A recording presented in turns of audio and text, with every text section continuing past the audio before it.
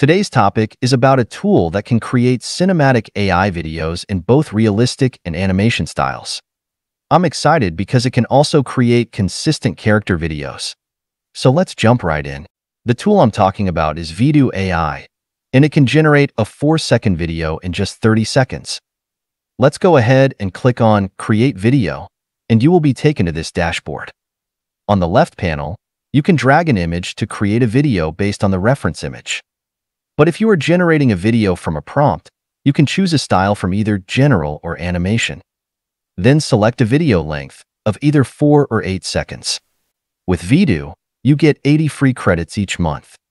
Creating a 4-second video uses 4 credits, while an 8-second video uses 8 credits. It's not much, but you are also not restricted to one email. So, let's create a video. I will begin by hitting the Inspire Me button to generate a random prompt.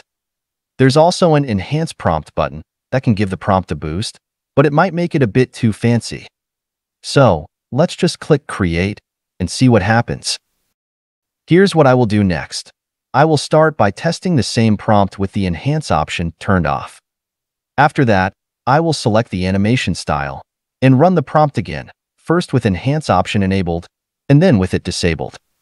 Once the video is generated, you will see two options. You can click the Re-edit button to try the prompt again, and the second option is to upscale your videos, but I will come to that in a moment.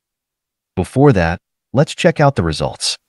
The video perfectly matched the prompt, but the quality is very low. I will upscale the video in a moment, but first let's check out the other results.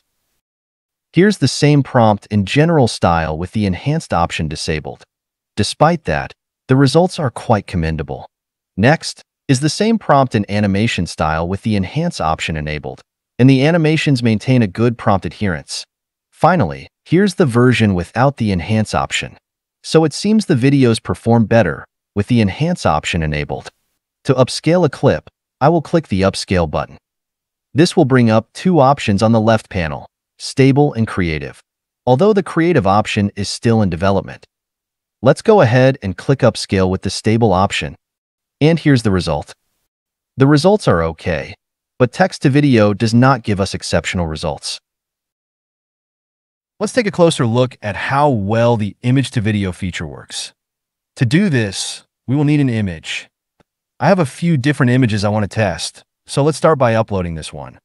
Once the upload is complete, you will see two options, use as first frame and use for character reference. Use as first frame means the animation will start with your character and the environment, exactly as they appear in the image. On the other hand, use for character reference is for creating consistent character videos. Next, write a motion prompt to animate your image. I will use this simple prompt. But if you want to learn more about writing motion prompts, check out this video. I will also leave the link in the description. Finally, click Create, and here's the result.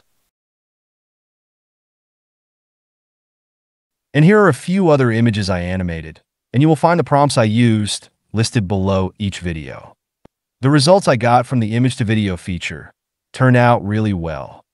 However, you will have to upscale them and possibly generate the video two or three times to get the best output. The process is quite fast, although occasionally, you might see a server busy message. And the consistent character option is quite a hassle. You have to try it at least 10 times just to get it to match the character you uploaded.